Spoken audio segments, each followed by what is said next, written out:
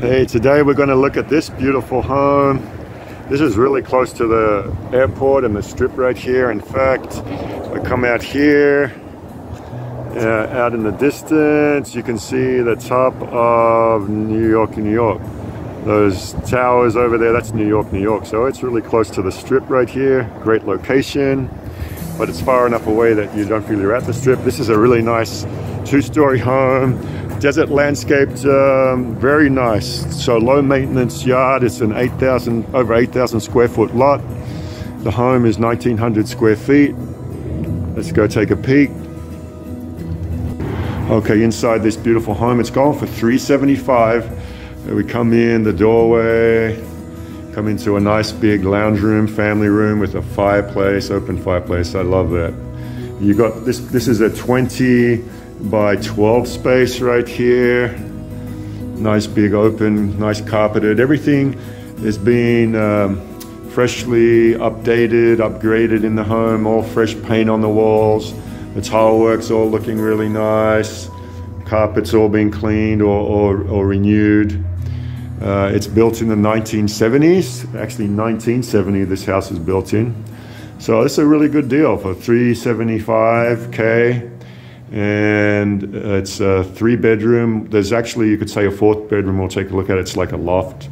Um, and then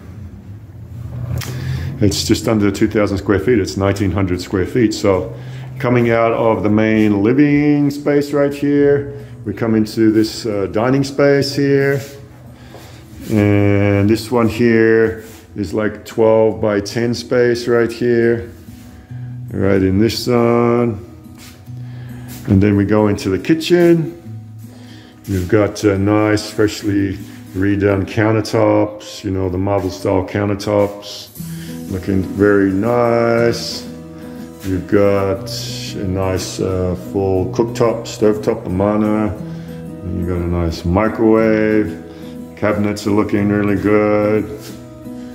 And like I said, I like the marble style countertops, really nice and a new fixture in there and then a nice big window out into a nice big backyard and then you've got another space right here.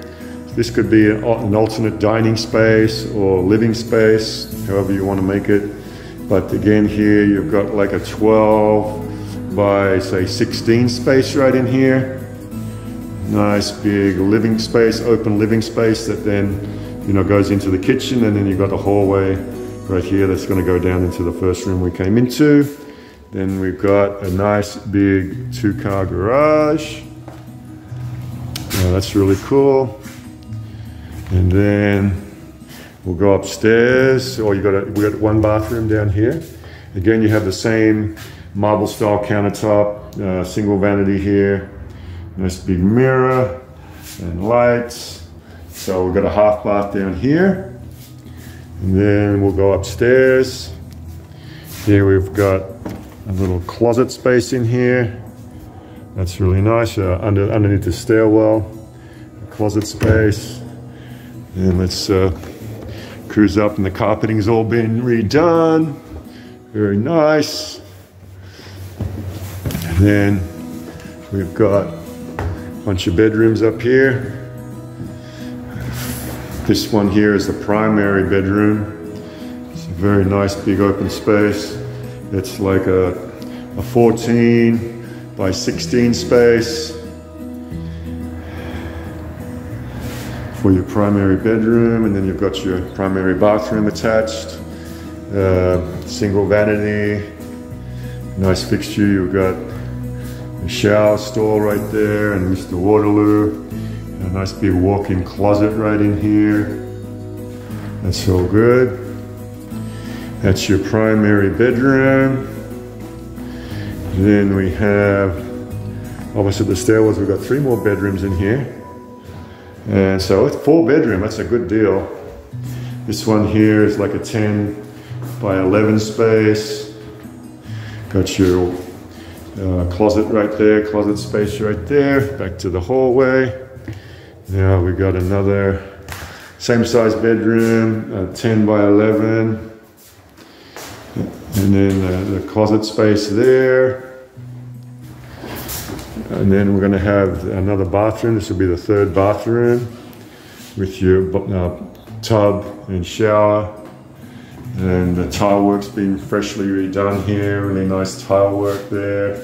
Everything's been repainted. You got new counters top on the on the vanity right here. And then we have a fourth bedroom.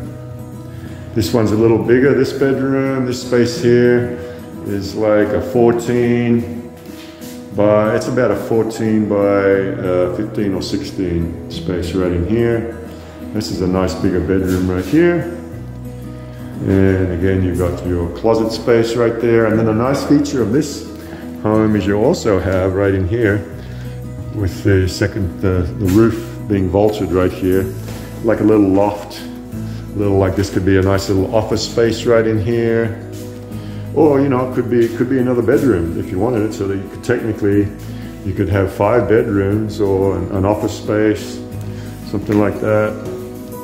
So that's, that's a nice feature of this home. Let's go take a peek outside. It's like I said, this uh, home is on a big lot. It's uh, 8,000 square feet or over at 8,000 square feet. And there's no HOA, so you can see you got a great big backyard. It's all fully desert landscape, so it's super low maintenance. And you've got a little shed out here, so nice storage shed. You've got a nice covered patio out here. So these, these are all great features of any place you want. Little space in the summertime right here under the under the patio. And you know, if you wanted to, you could put a pool in here for sure. You could put a pool, gazebo. You could put you could put a little mini mini putt putt golf course here if you wanted to. So you got a lot of potential here in your backyard. Nice big backyard. Plus, you know, technically that could almost be like RV parking here on the side too. Well, maybe it's not quite enough room, but almost. You can probably get certain RVs you could get through there for sure. So there's a, there's a lot of uh, good potential in this home. Okay, so I really enjoyed looking at this home. It's really nice. Great location, like I said, it's like 10 minutes drive from the strip, close to the airport.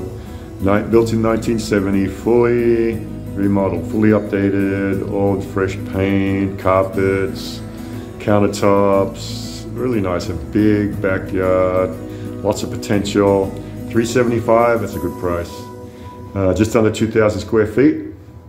The home itself, four bedrooms with maybe like the fifth possible bedroom or a loft study kind of deal. So what do you guys think? Drop me a comment and I'll see you in the next one.